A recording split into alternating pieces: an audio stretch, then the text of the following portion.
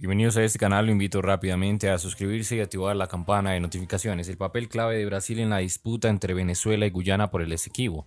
Brasil participa como mediador en la disputa territorial entre Venezuela y Guyana por el Esequibo, un territorio de 160.000 kilómetros cuadrados rico en petróleo y recursos naturales.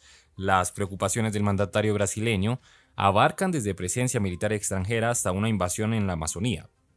No olvide dejar un comentario en este video y un me gusta también para apoyarnos. Muchísimas gracias. El gobierno brasileño de Luis Ignacio Lula da Silva se movilizó militarmente e intensificó sus contactos diplomáticos para mediar en la disputa por la región del Esequibo que opone perdón, a sus vecinas Venezuela y Guyana. Un alto asesor de Lula participará el jueves en la reunión de los mandatarios. Estas son las claves sobre las preocupaciones y el papel del gigante brasileño sobre el diferendo eh, del Esequibo, una zona administrada por Guyana, rica en petróleo y con presencia de multinacionales como la estadounidense ExxonMobil. Refuerzo militar en la frontera. El mayor país sudamericano comparte casi 800 kilómetros de frontera con el Esequibo, principalmente en el estado amazónico de Roraima. En esa región limítrofe hay seis municipios brasileños donde viven alrededor de 140.000 personas, entre ellas unos 40.000 indígenas. ¿Qué opina de esta información? Nuevamente los invito a suscribirse. Muchas gracias por estar acá. Noticias al día. Como lo ven en el título, pues bueno, el régimen de Nicolás Maduro pretende emplear un plan que si a la vez pudiera ser un plan maestro, también es un plan oscuro que podríamos decir, es difícil que lo lleven a cabo, pero no imposible y es por esto que debemos adelantarnos a los, a los acontecimientos e ir un paso adelante. El régimen de Nicolás Maduro no va a descansar para tratar de evitar en primera instancia la ruta electoral y si no puede desviar la ruta electoral por lo menos sacar del juego a quien representa realmente una amenaza para ellos. Vamos a comenzar con un audio que ha estado circulando por las redes sociales y que si bien es cierto no se ha confirmado que esto sea real, podría ser un plan que podrían ejecutar. Sabemos que del régimen de Nicolás Maduro se puede esperar cualquier cosa, mucho más cuando se juega con la esperanza de alguien que está privado de libertad. Con este plan podrían estar matando dos pájaros de un solo tiro, pero sin más preámbulos, vámonos con el primer audio. Saludos a todos los que se vienen conectando en este momento. Hola Francisco, ¿cómo estás hermanito? Un abrazo. ¿Qué tal? Mira, yo creo que esta es una noticia que hay que ponerla a rodar rápida y, rápida y mucho.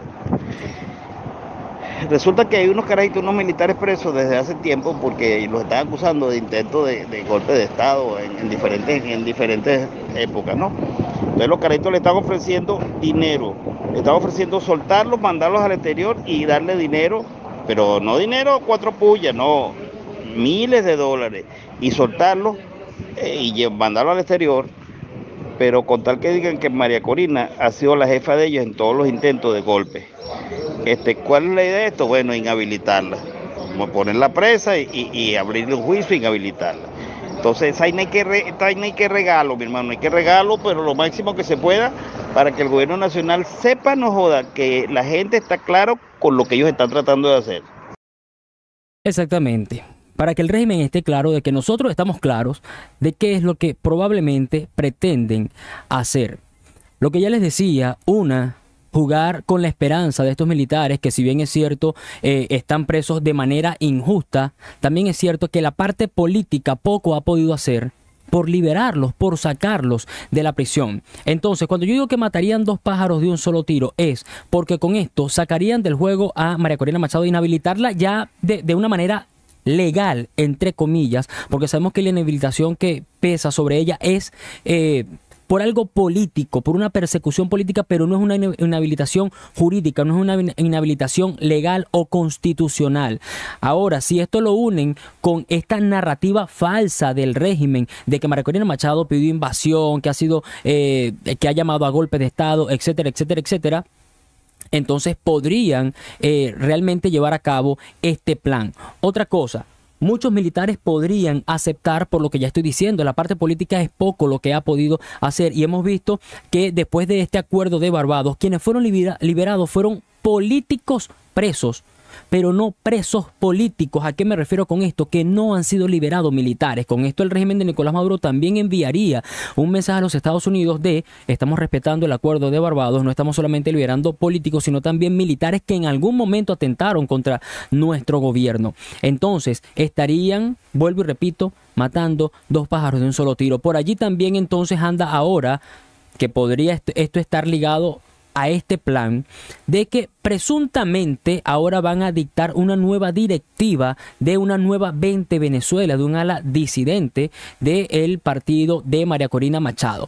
Esto realmente este, este segundo punto a mí, al contrario de preocuparme, más bien me causa risa, pero podría estar ligado con esto primero que acabamos de mostrar. ¿Por qué me causa risa? Porque el quien lo está llevando a cabo, quien está llevando a cabo esta campaña, es nada más y nada menos que la niña rata, Luis Ratti, que no que no ha hecho más que pasar pena. Pero veamos ¿Qué es lo que dicen los, titulares? Luis Ratti asegura que anunciarán nueva directiva del partido 20 Venezuela. Ellos mismos llevarán esta propuesta.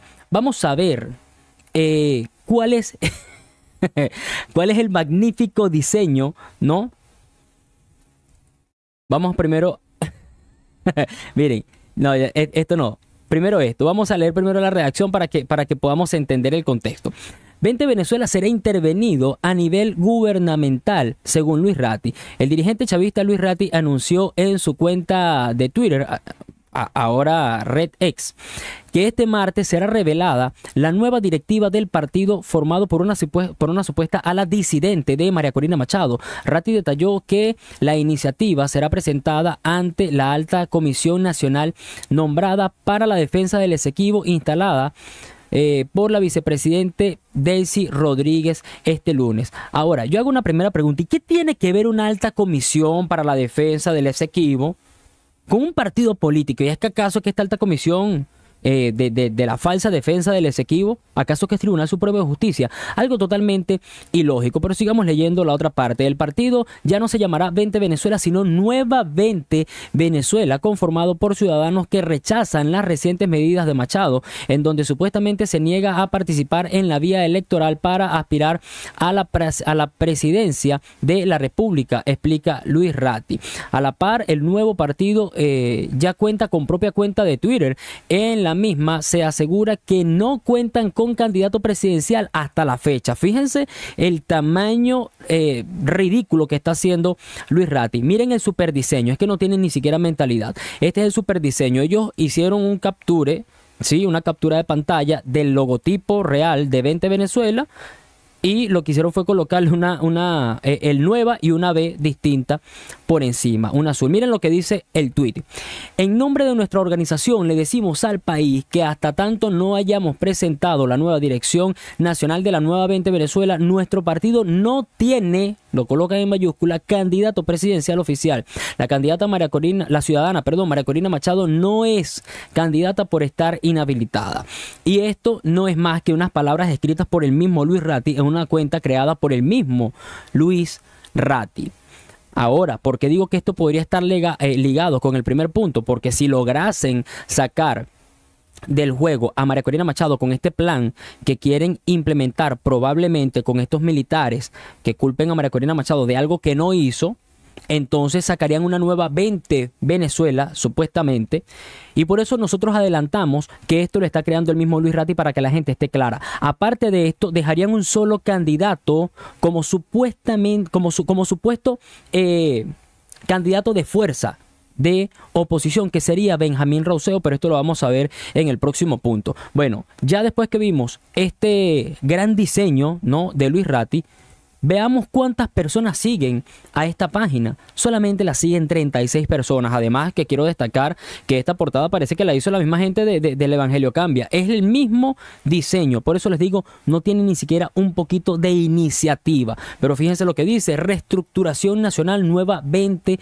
Venezuela cuenta oficial. Están siguiendo a 403 personas y solamente lo siguen 36.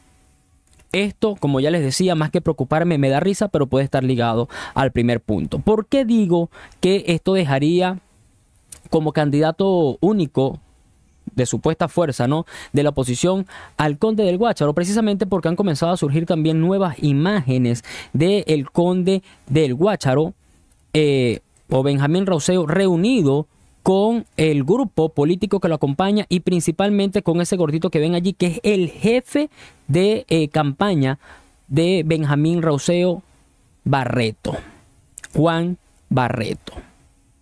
Ustedes recuerdan que en algún momento yo apoyé la causa de Benjamín Rauseo.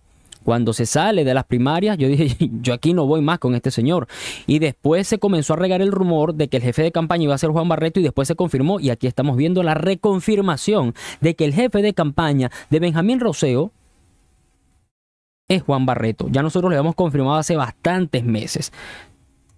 Esto no fue una reunión súper privada como han querido venderla porque ahí está la foto.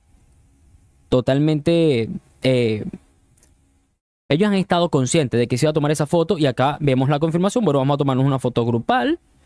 Allí al, final, atrás, casi que escondido, pero obviamente no lo pueden tapar, está Juan Barreto y el equipo que estaba sentado en esta mesa. ¿Por qué eh, decimos que quieren dejar a Benjamín Roseo como candidato de la oposición? Porque es el único que no representa una amenaza, pero todavía eh, mueve muy pequeño pero mueve cierto grupo de personas. Entre esos está este, este muchacho que crea contenido para TikTok que se llama, eh, el nombre del TikTok creo que es Kilómetro. Que dice, el mío es el candidato. Ese mismo. Eh, bueno, él sigue haciéndole campaña a Benjamín Rauseo este, este kilómetro que, vamos a decirlo, eh, eh, está totalmente en contra él del régimen de Nicolás Maduro, pero está, desde mi perspectiva, apoyando a una candidatura no favorable a Venezuela, porque el mismo Diosdado Cabello ha defendido a, a Benjamín Roseo. De hecho, acá podemos ver que Diosdado Mira lo que decía, según Diosdado Cabello, el candidato opositor más serio es el conde del Guacho. Ahora si nosotros unimos el primer punto que nosotros presentamos con el segundo de crear una, una nueva 20 Venezuela y ahora el tercero de dejar un candidato de fuerza de la oposición como Benjamín Roseo, pues estaríamos entrando en el juego que el régimen quiere. O sea, aquí estamos planteando lo que el escenario que realmente el régimen quiere llevar para el año 2024 si no logra salirse de la ruta electoral. Sacar a María Corina Machado, sacar un supuesto nuevo partido político con el nombre muy parecido al de 20 Venezuela, con, una supuesta ala disidente del de, eh, equipo de María Corina Machado. Esto quisiera decir que llevan parte de eh, la línea política de María Corina Machado, pero que discrepan de algunas cosas y dejarían a un candidato como lo es Benjamín Rauseo. Si bien es cierto que muchos venezolanos actualmente analizan la política de manera más madura, que lo hacían anteriormente, también es cierto que todavía siguen existiendo fanáticos en Venezuela. Además, que Diosdado Cabello fue el único que defendió a Benjamín Roseo cuando Benjamín eh, decide salirse de las primarias. ¿Desde cuándo Diosdado Cabello defiende la postura de un opositor, o sea, para que no lo critiquen. Y acá tenemos la redacción de aquel entonces, Diosdado Cabello.